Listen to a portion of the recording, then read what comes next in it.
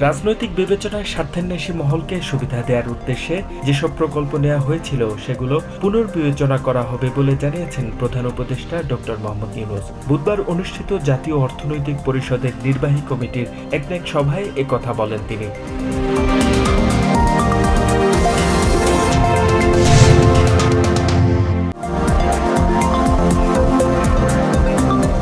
সেনাবাহিনীর কমিশন অফিসারদের ম্যাজিস্ট্রেসি ক্ষমতার সুফল ভোগ করবে বাংলাদেশের জনগণ। এমনটা মন্তব্য করেছেন স্বরাষ্ট্র উপদেষ্টা অবসরপ্রাপ্ত লেফটেন্যান্ট জেনারেল মোহাম্মদ জাহাঙ্গীর আলম চৌধুরী। তিনি বলেন, জনসেবা ও আইন শৃঙ্খলা রক্ষার স্বার্থেই তাদেরকে ম্যাজিস্ট্রেসি ক্ষমতা প্রদান করা হয়েছে।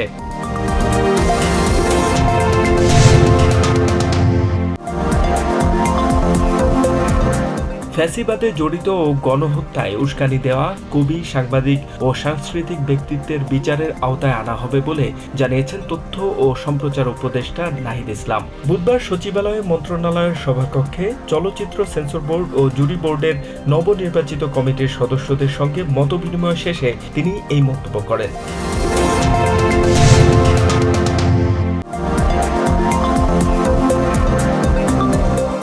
বিএনপি মহাসচিব মির্জা ফখরুল ইসলাম আলমগীর বলেছেন, আওয়ামী লীগের মতো আচরণ করলে বিএনপিরও একই দশা হবে। ঠাকুরগাঁয় বিএনপি আয়োজিত এক জনসভায় অন্যায় অত্যাচার, নির্যাতন থেকে দূরে থেকে মানুষের কাছে নিজেদের জনপ্রিয় করে তুলতে বিএনপি নেতাকর্মীদের অনুরোধ জানান তিনি।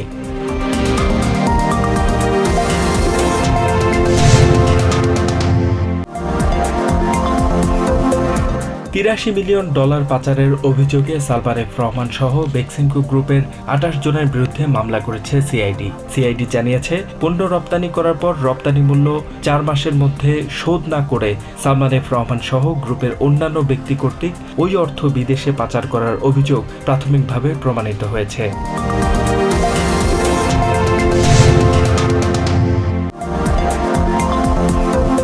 অন্তর্বর্তী সরকারের রাষ্ট্র সংস্কার কার্যক্রমের অংশ হিসেবে গঠিত সংবিধান সংস্কার কমিশনের প্রধান পদে পরিবর্তন এসেছে। আইনজীবী শাহদিন মালিকের জায়গায় এ দায়িত্ব দেওয়া হয়েছে।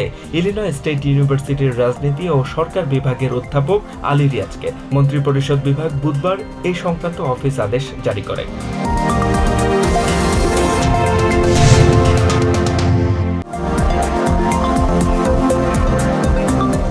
যাত্রীদের চাহিদার প্রেক্ষিতে বিশ সেপ্টেম্বর থেকে সপ্তাহে সাত দিনই চলবে metro rail. Dhaka mass transit company limited জানিয়েছে, শুক্রবার মেট্রো রেল চলাচলের সময়সূচিতে ভিন্নতা এসেছে। প্রতি শুক্রবার বিকেল সাড়ে তিনটা থেকে রাত নয়টা চল্লিশ মিনিট পর্যন্ত চলবে ঢাকাবাসীর কাছে জনপ্রিয় এই পরিবহন।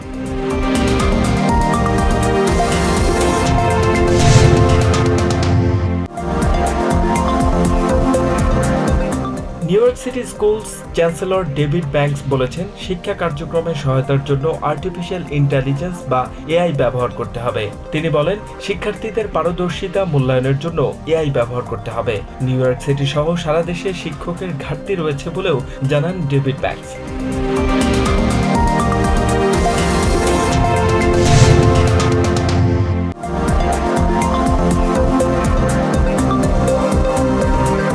লেবানন জুড়ে পেইজার বিস্ফোরণের ঘটনায় ইসরায়েলকে দায়ী করে তাদের বিরুদ্ধে প্রতিশোধ নেয়ার হুঁশিয়ারি দিয়েছে হিজবুল্লাহ। মঙ্গলবারের আকস্মিক এই বিস্ফোরণে অন্তত নয় জন নিহত হন।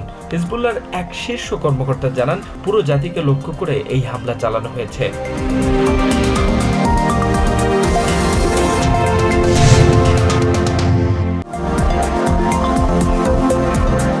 Italian football great Salvatore Schillaci আর নেই। ক্যান্সারের সঙ্গে লড়াইয়ে শেষ পর্যন্ত পেরে উঠলেন না। উনষাট বছর বয়সে মারা গেলেন উনিশশো বিশ্বকাপের গোল্ডেন বুট ও গোল্ডেন বল জয়ী এই তারকা। দু হাজার বাইশ সাল থেকে কোলন ক্যান্সারে ভুগছিলেন তিনি। বুধবার পালেরমো হাসপাতাল কর্তৃপক্ষ তার মৃত্যুর খবর নিশ্চিত করেছে।